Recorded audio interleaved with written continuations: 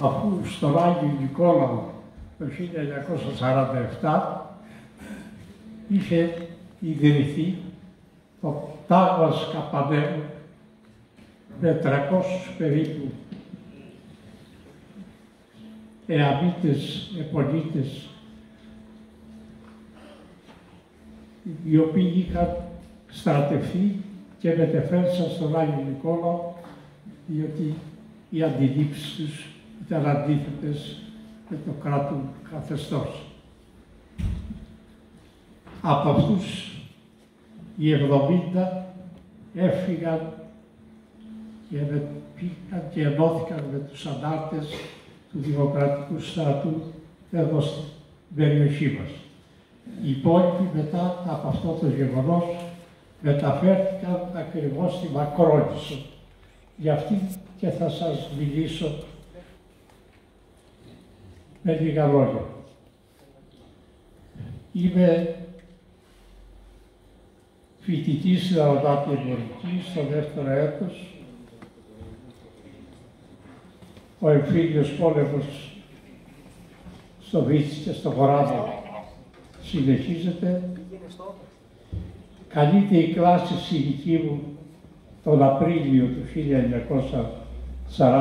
1948 και αναγκάζομαι να κατέβω στο Ηράκλειο, στο έμπεδο Ηρακλείου, να παρουσιαστώ.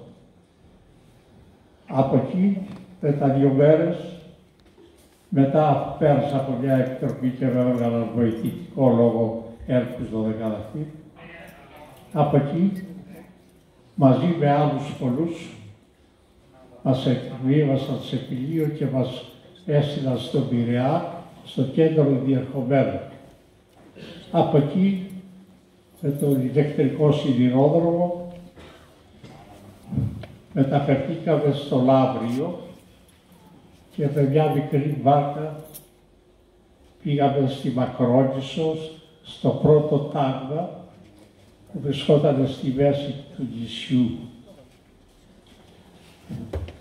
Ε, εκεί είχαμε φτάσει σχεδόν νύχτα και πεζοπαρώντας μας οδήγησαν προς το τρίτο τάγμα όπου και θα εγκαταστηλόμεθα.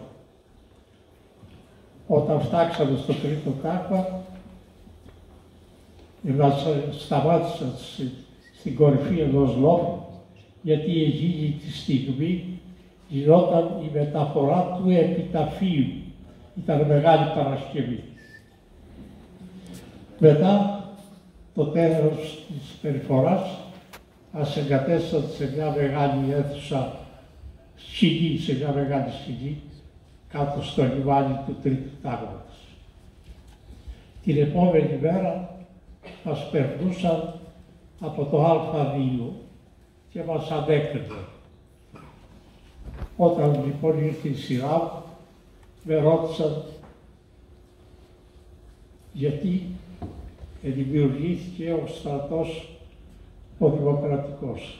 Και η απάντησή μου ήταν διότι μετά τη συμφωνία της Βάτσας πήρα πάνω χέρι οι Σίτες, τα γρατασφαλίτες, οι συνεργάτες των Γερμανών σκότωναν, φυλάκιζαν, εξορίζονταν, εξε... έστειλαν στην εξορία τον κόσμο της αριστεράς, τον κόσμο που είχε αγωνιστεί για την απελευθέρωση της πατρίδας μας. Έπεσε το πρώτο ξύλο και το τελευταίο. Γιατί λέω το τελευταίο, γιατί όταν κατέβηκα και συνάντησα τους αγγελικολιώτες, μακρονισιώτες, Λαζάκη, Στεφανάκη, Καραμανολάκη, Δεσποτάκη, μου λένε μην επιχειρείς να αντισταθείς διότι δεν θα αντέξεις στα βασανιστήρια. Η δουλειά που, η δουλειά που μου αρέσει βέβαια, λόγω της, το ότι είμαι β' στρατιώτης, ήταν να βαζεύω τα σκουπίδια από όλο το τάγμα. Μετά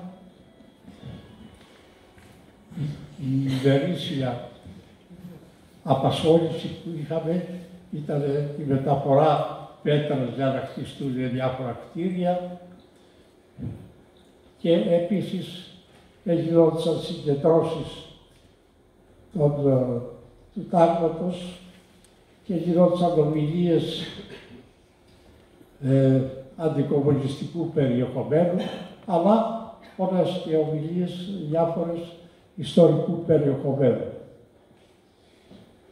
Έτσι εκκίνησε η ζωή, αλλά τα βασανιστήρια συνεχιζόντουσαν σε όσους αργιόταν να υποκύψουν. Υπήρχε μια χαρά δίπλα στο τρίτο τάγμα και κάθε νύχτα τα ουρλιαχτά των βασανιζομένων ήταν γοερά. Η προσπάθεια των κυβερνώντων ήταν να αναδείξουν τη Μακρόνισσα σαν χώρο αναμόρφωσης με έμπνευση αμερικάνικη. Και τόση ήταν η αναμόρφωση ώστε ένας, ε, στη γυμναστική που κάναμε κάθε πρωί ένα, ένα παλικάρι δύο μέτρα το είχα φωτογραφίσει και, το, και ενώ τον είχα σκοτώσει τον παρουσίαζα σε έκθεση του Ζαπίου ως ζώντα. Συνεχίστηκε η ζωή μας στο τρίτο τάγμα. Πληροφορηθήκαμε την παρουσία του Νίκου του Κούρδουρου στο πρώτο τάγμα. Μάθαμε ότι ο Μαϊραχτάρης επιβαίνουν σε πλοίο και καλώντας τους κρατουμένους του πρώτου τάγματος να βγουν από τις σκηνές τους με όπλα κα, κατασκότωσε τους συγκεντρωμένους εκατοντάδες νεκροί.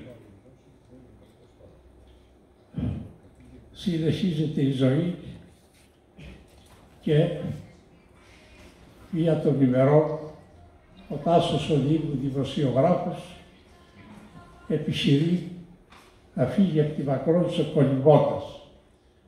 Δυστυχώς τον έπιασαν στη μέση της διαδρομής, τον γύρισαν στο τάγμα, τον έδεσαν σε ένα στήλο που υψωνόταν η σημαία ελληνική και ανάγκασαν το τάγμα να περάσει, να το γιουχαίσει και να το φτύσει. Άλλο γεγονός θλιβερό. Ειδοποιούμαστε ότι έφτασαν στο αναρωτήριο του πρώτου τάγματος πολλοί νεοφερμένοι, ξυλοδαρμένοι. Πήγα στο αναρωτήριο και εκεί συνάντησα τον Αντώνη τον Μπριλάκη, τον μετέπειτα βουλευτή του Πασόκ, ο οποίος είχε συλληφθεί από τους Γερμανούς μετά από ένα παγκρίτιο συνέδριο της ΕΚΟΤ και τον στείλανε στα κάτεργα της Γερμανίας. Μετά την απελευθέρωση επέστρεψε και έγινε βουλευτής. Είχε φάει τόσο ξύλο ώστε δεν μπορούσε να μιλήσει και δίπλα του βρισκόταν κάποιος άλλος ο οποίος είχε φάει κλωτσιά στο στόμα και είχαν φύγει τα μισά του δόντια. Και όλοι οι άλλοι ξυλοδαρμένοι βαριά. Αυτά ήταν γεγονότα τα οποία δεν μπορεί να αμφισβητήσει κανείς και τα οποία προσβάλλουν τον πολιτισμό μας και έρχεται ο, ο Απρίλιος του 2050. Προκυρήσονται εκλογές βουλευτικές εκλογές. Εκεί τη μια μέρα εγώ είχα γίνει διαχειριστής στο λόγο αξιωματικών του δίνει ο διοικητής ένα αρνί να το πάω στο διοικητή του της Μακρονής, στο Μαϊρακτάρι, στην Κηφισιά που έμενε. Του το πήγα. Αλλά άδραξα την ευκαιρία. Πήγα σε ένα ξαδερφό μου, έβαλα πολιτικά ρούχα και πήγα στον πλαστήρα και του είπα ότι οι εκλογές στη Μακρόνησο πρέπει να γίνουν με κάποια ελευθερία. Που είπε, μη στεναχωριέστε, θα έρθουν και δικαστικοί αντιπρόσωποι και κομματικοί αντιπρόσωποι. Έτσι πραγματικά και έγινε. Έτσι μπόρεσαν όλοι οι κρατούμενοι στη Μακρόνησο να ψηφίσουν ελεύθερα. Το αποτέλεσμα, αγαπητοί μου, 85% δημοκρατική παράταξη ήταν το τελευταίο χτύπημα που δόθηκε σε αυτό το νησί. Έτσι το ιδεολόγημα της αναμόρφωσης στη Μακρόνησο ε, γκρεμίστηκε σαν χάρτινος πύργος. Μετά ένα χρόνο διαλύθηκε. Μετά τις εκλογές μας κάλεσε ο διοικητής του τάγματος σε συγκέντρωση. Εκεί λοιπόν περιμέναμε να ακούσουμε τι θα μας πει.